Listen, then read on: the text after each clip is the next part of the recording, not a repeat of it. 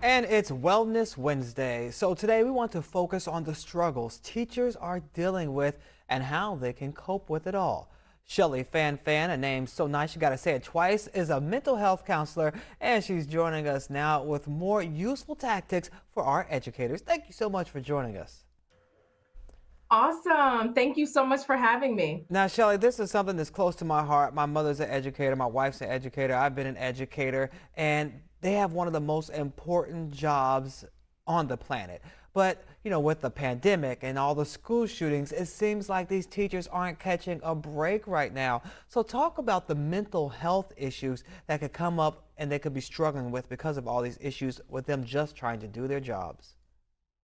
We are inundated with referrals from teachers. They are experiencing their own loss, they're experiencing grief as a result of the loss of loved ones, loss of peace, loss of lifestyle.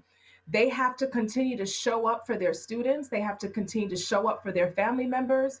And in showing up and being present for their students, they also have to absorb just the weight of what the students are going through, their social isolation, and, and children have an amazing way of just carrying the issues within their homes.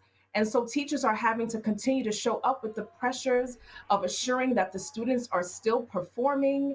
It is a lot, and overwhelmed is not even the word. It's very, very hard to describe the mental health issues and the impact the demand on their lives is having in this time. And you know, many of these issues are out of their control. There's nothing they can do about it. It's just happening around them, and every day can be different. So, how can teachers mentally prepare for the dangers they have to face every single day? I know it involves a lot of prayer, but, but what else? And I'm so happy that you said that. I have a teacher that told me just yesterday that she was choked with her own lanyard mm. because young adolescents and children, they tend to use behavior as language and they're going through so much. Teachers have to have very healthy morning routines that will promote their mental wellness. They should have evening routines that really lift up and, and undergird their mental wellness. Teachers have to take breaks whenever they are able to take a walk, get air, get sunlight, hydrate. It's important to have an opportunity to decompress, whether that decompression is mindful breathing, grounding, meditation, speaking to a loved one, and of course, therapy. I'm a huge advocate of therapy. Therapy will help you to engage your superpower. Mental health is a superpower. So it is important for teachers to be very intentional about their wellness and to not be afraid to get therapy, to get the support needed for them to be, to continue to be effective in their roles as teachers. Wow, there's no reason a teacher should have to put her life at risk just to be able to teach our children. But can you talk about how these issues can actually affect the work that teachers are trying to do in the class and the potential impact on the students because of it? When we start to decompose in our mental health and decompose in our emotions, it causes disturbances in our sleep. And when we are not having restful sleep, then our brains are not getting what they need. Brain cells die more than they multiply. And so that affects concentration, it affects focus, it affects the ability for any human being to operate in peak performance. We need rest. We need to be able to have a healthy appetite. And one of the things that I'm seeing as a psychotherapist is that teachers are not getting the rest that they need.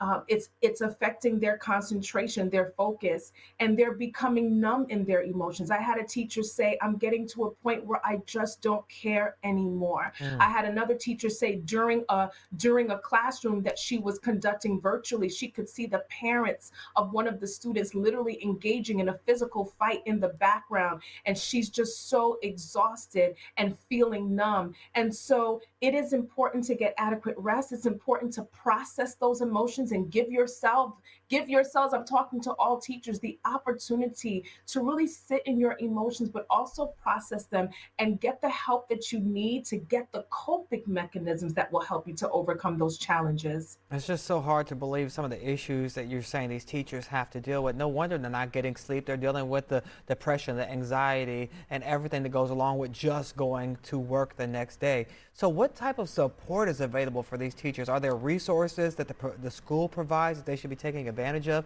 Even counselors are on hand to actually help them? It all depends on the areas that they serve in. Um, from what I'm hearing, most of the teachers that arrive at my office are basically feeling like they are unsupported. And so there are certain needs that we have that we just cannot outsource to others. And that and one of those needs is attending to our mental wellness. And so going on to www.psychologytoday.com is a great place to start. It gives you an opportunity to put in your zip code, put in some of the issues that you are experiencing and a whole list of credentialed and vetted uh, professionals in the mental health field will come up. You have an opportunity to schedule consultations, speak to the individual, and choose someone that you feel comfortable with. But every teacher has the right to be well. Your mm-hmm. wellness is your right. You do not have to deal with not sleeping well. There is an answer for your emotional eating, there's an answer for your depression and your anxiety. You can bring the love and passion back for teaching. You just have to make sure that you are prioritizing your wellness, allowing your yourself to be uncomfortable if that's the case to get the healing that you need. So again, www.psychologytoday.com is a great place to start so that a person can see all of the available licensed professionals in their area that they can align with. Now, before you go, we just have one more uh, piece of advice. We only have a few seconds left. I'm a parent, and my kids know how to act in school. They better. But for other parents that are Every out there, says that. I know, right? for other parents that are out there, what can we do? What can the students do to try to make life just a little bit easier for these teachers out there? Get engaged. I think it's important to get engaged, find out what's going on in the classroom. Be open to when you hear feedback that doesn't align with your experience you know in the homes.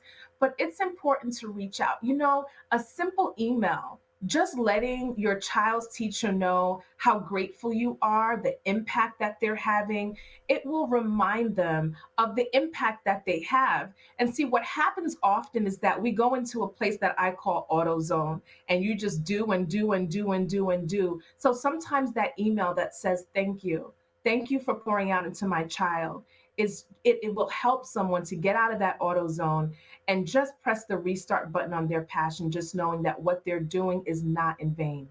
All right, great advice. And we can also help fight for raises for our teachers. That's another thing we could try to do.